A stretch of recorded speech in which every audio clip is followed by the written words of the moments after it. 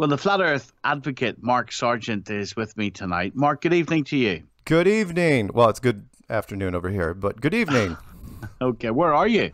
I'm on, over on, on the west, the, we, the west coast of the United States, uh, Los Angeles. Say, Los Angeles. I didn't know whether to say. Sorry, go ahead. I didn't know whether to say flat world or round world or, or, or what, but sure, that's what we'll discover uh, in this. So, why do you believe, and when did you start believing the Earth is flat? Sure. I started looking at it in the summer of 2014 because I looked at just about everything on the internet that interested me, and everybody hates flat Earth. Everybody knows about flat Earth, and so I thought, ah, I might as well look at it. I'm older. I'll take a look. I'll debunk it. I'll shut it down in a weekend.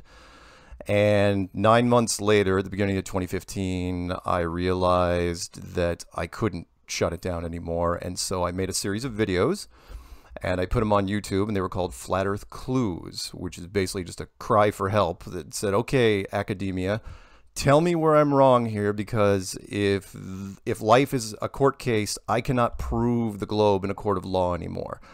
And then the opposite happened. I again, I thought the academia was going to shut it down, and instead they came at me with.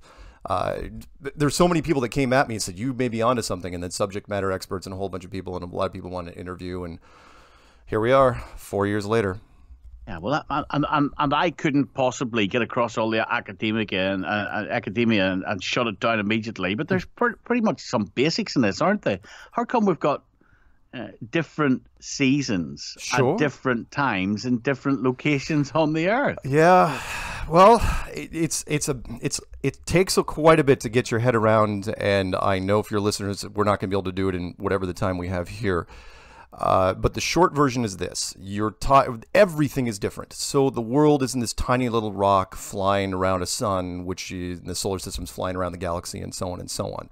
We're talking about you're in a building, a giant structure, uh, no different than a terrarium, a planetarium, um, a soundstage, as it were. Something that's so large that even our best and brightest didn't figure it out until about 1960, and that would have been the United States government and the Soviet Union and they just decided to not tell anybody and be like, okay, whatever's happening here. But as far as the sun and the moon goes, uh, it gets even worse because the sun and the moon are tiny little objects that are just floating around as like a mobile above a child's crib. Uh, probably less than 50 miles wide, uh, the sun being like an incandescent light bulb, and the moon being like an LED light bulb. But if the Earth were flat, mm-hmm. the sun's rays would be coming in at the same angle, and that would mean the USA, Australia, Italy, Argentina, they, they, would all experience the seasons the same. No, well, it, it would, except that the well, sun of doesn't. Course they would. The, the sun doesn't follow the same track. It's like a like a needle on a record player. If if you're old enough to remember a record player where the, the needle runs in and out depending on how far it is in the album. So the sun doesn't take the same path across the sky. It may not even take the same altitude as far as we know. There's some things going on with the sun and the moon we don't know. We, we can't explain all the details. We're still working. We've only been doing this four years. But I mean, at the same time, we've only had HD television for 20 years. So how's that? So what what are you saying to me? You, you're saying to me that we are what? This explain it to me again. You think we're, we're we that, that the Earth is covered by a, a gigantic dome? Right. It'd be like a like a I don't know if you have domed sports stadiums over in the UK, but uh, not too many. But yeah, yeah okay. we get what you mean. it'd be it'd be like mean. being in a giant domed sports stadium, something that'd be thousands of miles wide and uh, the ceiling doesn't have to be that high. It doesn't have to necessarily look like a snow globe, but that's what we're talking about here. We're talking about, uh, and I know it's a little dated, the 1998 movie The Truman Show, where this thing is so large that you couldn't even, you know, it's got walls and a ceiling and a floor, which we're on, and nobody could figure it out because it was so big. You know, we couldn't see the forest for the trees. And, you know, it's kind of like a lake sitting in the middle of this building. And there's little islands in the middle of this lake, which we call continents. And again, we see them as gigantic things, but whoever built this place is uh, far more advanced than we are. And where have you got that from? as far where as where have you got that from in your head in terms of this flat disc and we're covered by a gigantic dome uh, where, where did this come from when you started investigating this when i started looking at it i initially again looking just at the flat earth concept in general like anybody it's like oh how can it be flat and then i was like okay if i were to build a flat world how exactly would I would I build it? What what were the moves I would do? How would I, you know, what, what sort of shape would it take, and what sort of structure would it would it be? And I was treating because I was in the the computer world, uh, you know, tech world. I, heck, I even played video games for a living for some time. Uh, for two decades. And when we build simulations, when we build artificial worlds, we build them completely flat and in a box. It's it's basically a, a, flat world in a box. Now, of course, you can make it circular or whatever you want, but inside there, uh, the reason why we do it is it's easier, it's more efficient. Uh, the average person, uh, if you make you know the world big enough, isn't going to tell whether there's a curve or not. Uh, same thing with gravity and buoyancy and density and all the energy systems. They work better inside an enclosed flat system. And and you know that there will be some people listening to this who think you're a crackpot. Oh yeah, possibly. In fact, I look. In I fact, I, there's a there, there's a pretty. Uh, uh, I learn something every day. There's a pretty cool name for it, isn't there? It's the Dunning Kruger effect, and Oh, that's yeah. when people mistakenly think they know more than they do, and they fail to recognise the huge gaps in their knowledge or the extent of their incompetence. Sure, That's the sure. Dunning Yeah, Kruger too- effect. too- too Is dumb- that you? Yeah, too dumb to know the truth. Oh, I, I know the term. But at the same time, this is different because everybody go, that goes into the flat earth hates it. Everybody, it- it- they always start in the negative, meaning everybody, nobody goes into flat earth thinking it's a great idea, especially me. I was extremely stubborn when I went into this thing. I, I consider myself a very clever problem solver, and I'm looking at this thing. I'm looking. There's. I'm saying there's no way. There's no way. And then what you do? I mean, you try to prove the globe. I mean, I'll ask anyone out there. I'm not necessarily asking you, but which is, tell me how you know it's a globe without using a space program, without referencing a space program. And that takes away 90% of the arguments right there. And then, unless you're again into ha- heavy academia, you're going to have some problems. And then after a while, there's just too many loose threads to where, again, can I prove to you right now that, it, that it's a flat world? No, no, I can't. But I can create so much reasonable doubt in the globe. The only place left you have to go to turn is a flat world, some sort of a version of flat Earth. I mean, there's half a dozen different versions out there, but they all everybody agrees in the same thing. It's like, yeah, it's not a globe. So if you're proving it to me, give me more. Okay, you want you want five things real quick? Yeah. Okay, first first things. If I was going to again, does this prove unequivocally that, that we're you know we're on a flat stationary Earth? No, but again, you'll see where I'm going with this. First would be long distance photography, and that is uh, if you don't go into the space programs, first thing usually people say, "Oh, we've seen ships go over the horizon." There's lots of water out where you are. Ships go into the horizon. We all know it. Ships go off in the distance, and they go, and it seems like the the hull's going first and the mast, and that's it. And I'm going, yeah, you know what? Ten years ago, I absolutely would have been right there with you. But HD zoom technology, we can zoom in so far now that eventually, you got to remember, these boats have to be on the other side of the curve. They have to be behind the curve. They have to be on the other side of the hill, and they're not. You, you can zoom in anytime. It's like 30 miles away, 40 miles, 80 miles, 100 miles. In fact, the only limits that we have right now is the density of the atmosphere itself. I put a challenge out to science to say, show me an object that's off in the distance, a lighthouse, a ship, a structure. But you're disputing hundreds of years of science. Yes, yes, I absolutely am. Absolutely. You got to remember, though, it was hundreds of years of science, but before that, it was flat. And I know your Brian Cox will say that no, flat Earth was actually a myth and nobody believed it. It's like no, because everybody drew the same thing thousands of years ago. Everybody drew the same thing. It was only 500 years ago that we went to the globe, and now it seems like things are shifting. Sorry, do, do I have time for the other points or not? Yeah. Okay. Uh, second point would be atmosphere versus the gravity of um, uh, gravity of the world, right? So I'm sorry, uh, vacuum of space versus uh, the, the gravity, which is if remember the vacuum of space is extremely powerful, extremely powerful, and yet this little rock here holds on this wispy little smoke-like atmosphere on top of it, and nothing gets sucked off into space. Where's the bleeding edge of space? Where does our atmosphere end and space begin? Because I can show you test after test after test that shows a vacuum chamber will rip everything off violently. And yet that never ever happens apparently. The pressure needs a container. That's the short version. So, so if we were to ask ourselves how far is Sydney in Australia from Santiago in Chile yes. on, on, on your map, in the actual world, Sydney uh, to Santiago, Chile, Qantas flight 27, 7,000 miles. It's a 12 hour flight. Right. Now, this flight would be impossible on your flat Earth model. Should it would be. require the plane to travel at twice the speed of sound, for goodness sake. Should be. We we know there's some per- perspective. should be. We know there's perspective problems with this map. We absolutely know. And we've been trying to work on it for the last three years. But the bigger question is, why are there and that that flight you mentioned i get that flight mentioned to me all the time the question is why do 95% of the flights in the southern hemisphere like the ones you were mentioning take double connections take we're, double we're, we're, we're back to Dunning Kruger effect again, isn't it? That you just don't rec. Again, you just don't recognize. no, no. no. If you want to, if you want to say say, you're I'm too, working on if it. you want to say I'm too dumb to know the truth, that's fine.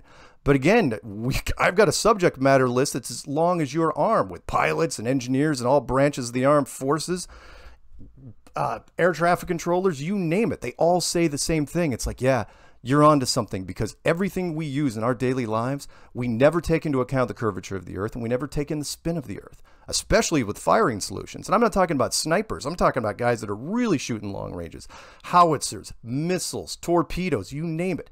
No one takes into account the Coriolis effect Or- and the curvature. or maybe Mark, you're really clever, and and you're a marketeer, you're a good salesman, and you're making a fortune out of this. It's, your no, but livelihood, they- the social network. Like it would cost you a fortune to admit you're wrong, right? No, Uh, you mean to, to prove to me that I'm wrong? It would cost you a fortune to admit you're No, wrong good because Lord, you're, make- the, make the money- YouTube hits make- and these films and these documentaries. No, no, no, no. Okay, one, earned. I didn't get paid a dime. Nobody gets paid for documentaries except for the director and the producers. The subjects, they sign a waiver. The, the movie doesn't get made unless they sign off. They just say, "Oh, I'll just move on to somebody else." I make, uh, yeah, I make a little money off of YouTube. I make a little money off the book, and I make a little money off the radio station. Not a lot of money. Nobody goes into Flat Earth to make money.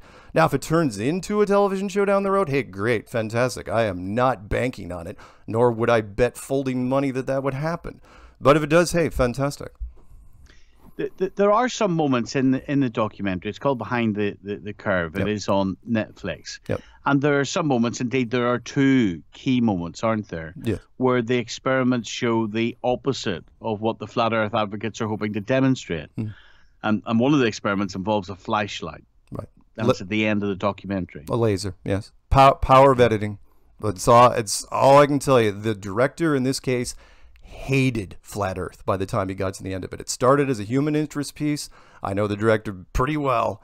And by the time we got to the conference in Raleigh, and he said so much as the in the uh, the iTunes director's commentary, he said once that 12 year old kid got up to the microphone and asked me questions, that's when it turned for him. That's when he knew he had to take a stance against Flat Earth. And I get it. I get It's okay, fine. Hold on a minute. He, the director, wasn't taking a stance against it. Oh, absolutely he was. The experiment was against it. No, The no, no, no, no, no, actual no. experiment. The data was against what you're suggesting. Again, power of editing. I have sat with team after team, and the teams that hate us, they will chop that thing up to make us look as bad as possible. But National Geographic was a perfect example of that. I shot with them for three days. And there was an experiment that they had set up with balloons across 10 miles off of a lake, and we saw it clear as day. And they admitted it, they erased it from the segment, and they went with a raft in the middle of the lake and just said, Oh, no, no, absolutely. You can see the stripes disappearing at four miles. It's like, what happened to the 10 mile test you set up? You shot it six ways from Sunday. No, don't don't tell me that uh, that we failed in our experiments. We do amazing in our experiments. The, heck, the same time the Jeranism shot was done, we were shooting at Lake Balaton with the Guinness Book of World Records, who completely documented at 40 kilometers. It was perfect. Did okay? To be fair, did Jeran do a great job with that experiment? No, he did it for the first time. Didn't do any rehearsals. There's not much I can tell you. He learned from it, but everything else is great. And why are different stars visible from different latitudes? Why? Oh, different projection systems. You're living in a box. I, I don't know how clear I can make this. You're living in a building, no different than a planetarium. If in, in a normal planetarium that's only a couple hundred yards wide, you use one projection system and you use one star system. But if it's even a hundred miles wide, you can get away with instancing the whole thing, which is a software term. It's very, very easy to do. And I know most of the listeners don't go into software development, but I can tell you it's simple. I, I, I, I guess why the director, you, you say he hated this. Yes. Um, I, guess he might have thought that you're exploiting gullible people, that you're feeding into distrust of scientists and experts and authorities. Right. Was that a question or a statement? Well, I'm I'm I'm wondering what your reaction Oh, is. oh, uh, well, It, no, it wasn't even that. He, I mean, he, yeah, he's science based, no question. But where it got too far from him was when kids were being introduced into this, meaning that there were kids coming up and, and asking us questions and emailing us and calling us. And that really bothered him because up until that point, it was like, oh, you know, they're flat earthers, they're they're nice people and everything, and they're but they're relatively harmless all of a sudden he started looking down the road, which is exactly what National. Ge- I mean, he and National Geographic were completely on the same page. They asked me questions which I had never heard before, which is they said, and they never even used this in the segment, but it was straight up. They said, "What happens when?" Flat earth gets outside of your control what happens to medicine what happens to technology what happens to civilization as, as we know it are you uh, couldn't it be possible that flat earth ushers in a brand new dark age and i said well i think that may be a little heavy handed but at the same time, it's like, you know what? We are the new scientists at this point. But you're not, because you're not a scientist. De- define scientist. Someone with a master's degree, something like that, in a physical in a physical setting, university type thing. Well, well, tell me why you believe you are a scientist. Meaning, look, everybody can test. The scientific method can be used by anyone, with which is scientific methods, real easy: test, observe, repeat. And then, you know, if you like peer review, you show it to other people and they test, review, I'm sorry, test, observe, repeat. Same thing, which is why you'd think, by the way, if flat earth was so easy to kill and everybody goes into the same thing and everybody runs down to the beach and shoots long distance photography and all these people use laser tests and all these people use all these other things, wouldn't you think we would have shut ourselves down by now? You see, you mentioned medicine, and, and, and medicine's interesting too because the anti vax movement tap into similar things, don't they? And children die as a result. well, okay. Disputing no, and, and, by the way, you you, you and, and, if you don't and if you don't use this, that's fine. I, I don't mind because this is kind of touchy for everybody. But uh, you brought up anti-vax, and and I didn't. And but I do have an opinion on it, which is, come on. Uh, the, the big pharma companies, when you have a massive drug company, you want to get into the vaccination program. You do. Unfortunately, every time a new vaccination uh, gets introduced, the amount of testing you have to do goes up almost log- exponentially. And to the point where now, you know, back when I was getting vaccinations, was what, six, seven, six, seven vaccinations. Now we're up to 30, I think you can't test everything. And if there's a problem between one of these, you know, one or two of these things, let's say, I, I shouldn't call it out by name, let's say the MMR and something else. Well, the problem is if there's a problem and you know it, then lawyers' rules apply, which is you do not admit guilt until they have you. And sorry, the autism rate is gone, at least over here in the States, has gone through the freaking roof. It used to be one in 10,000. Now it's one in 40. And you've got to blame somebody. And if it's not the water, and if it's not the food, and it's not the atmosphere, what is it? So you got to pin it on somebody. Worried, are you not worried though about your responsibility to be sure about what you're saying? Ra- uh, uh, uh, are we talking about because, flat Earth or vaccinations? Well, I kind of both. Okay. Because then vulnerable people can be exploited. Vulnerable people can be harmed. How? You, how how can vulnerable people be exploited with vaccinations? I mean, how, how many you? Well, I might, challenge you. Watch watch thirty. Watch into the anti-vax movement. Look, there's something wrong with the vaccination program. I'm not saying shut down vaccinations. Of course, but if somebody says, "Look, if you hold off on the MMR for another 18 months, the percentage of something going wrong go, you know, goes way down," it's something you should look at. But the, again, the lawyers won't let that happen because if any drug admits to it, the class action lawsuit kicks in, and that company is gone, erased. We- were you Mark anti-establishment all your life? No. Like, have you disputed everything all no, not life? at all. I was I grew up on a rural island up in the middle of freaking nowhere. I didn't even believe that that anyone in the po- uh, position of authority lied until I got to university. And then I think the first thing I saw because you know the internet wasn't out yet was uh, Oliver Stone's JFK, and I thought I said, "Wow, people could possibly lie. It's it's it's it's a possibility. No, I'm in fact I'm not anti-establishment. In fact, quite the opposite. You're I, not anti. Yes, you are. No, no, no, no. I believe in the greater good. I absolutely do. There's a lot of government decisions out there that are made that I side with the government, much to the dismay of the, of the conspiracy community. But when it comes to you know, I but I call it as I see it, which is look, there's something wrong with vaccinations. I think we should look at it uh, flat Earth was just kind of a fluke that just came across my desk. And it was like, hey, you know what? I hate flat Earth. And then the more I looked at it, I was like, you know what? It's not that nuts, and I hear that time and time again with everybody. How big is the flat Earth movement? Oh god, it's huge. It's you. You have no There idea how go. big it is. There's there's so many people in Ah. it now that we even. Well, I'll give you a perfect example. When I'll just use relevant search results, and this will make sense. Uh, when I started into flat Earth in 2015, if you typed in flat Earth with no filters or anything in YouTube, I think there was like 50,000 relevant search results. Then you can take that however you want it. Before, in the middle of last year, that was at 20.9 million and Donald Trump, if you type Donald Trump in, eh, we came in at he came in at 20.8 million, and then six weeks later, YouTube cl- shut down the scoreboard. I mean, permanently for everybody.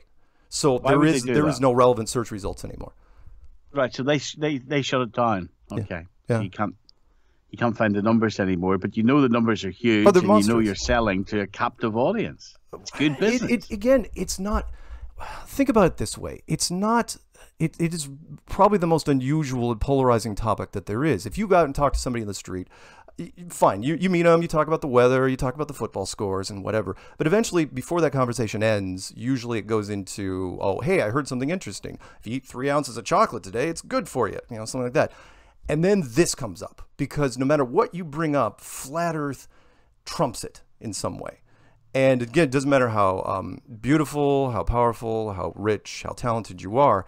This topic seems to seep into everywhere. I mean, I've talked to A-list celebrities. I've talked to sports people. I've talked to people that cannot come out of the closet. Ninety percent of our community won't come out of the closet because they're scared This is the- of friends and family and coworkers. I get emails every hour about people. It's like, oh yeah, I can't talk to my. I, I, I am. I completely understand. But yeah, the community trying is, to work is- you out. So You say you, you, you say that uh, you're making a little money out of this. How much?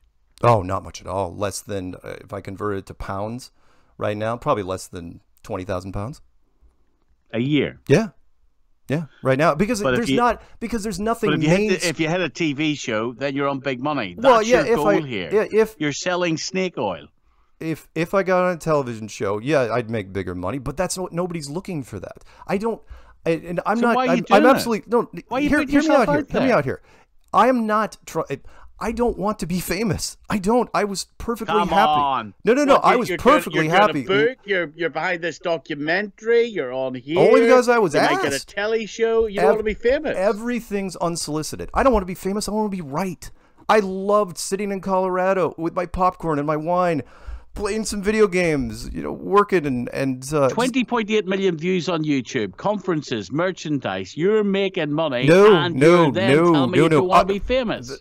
the producers make the money off the conferences. Whoever's selling T-shirts, I don't care. In fact, I not only did I not monetize my channel for the first six months until Google called me up and said, "Hey, you might want to monetize," I didn't even allow comments or thumbs up or thumbs down. I tried to keep this thing as low key as possible. I it, the money doesn't make it. I, look, I grew up with money. I don't care about the money. All I care about is what's true and what's not true. And everyone, I think everybody out there wants that to some degree. You know, find out for yourself, which is why at the very end of my videos, I say pretty much the same thing, which is look, don't believe what I'm saying. Don't listen to me. Do- Do your own research, ask questions. And if it turns out that, that you agree, hey, fantastic. If you don't, move on to something else. Nice to talk to you tonight, Mark. Thank you very much. Thank you.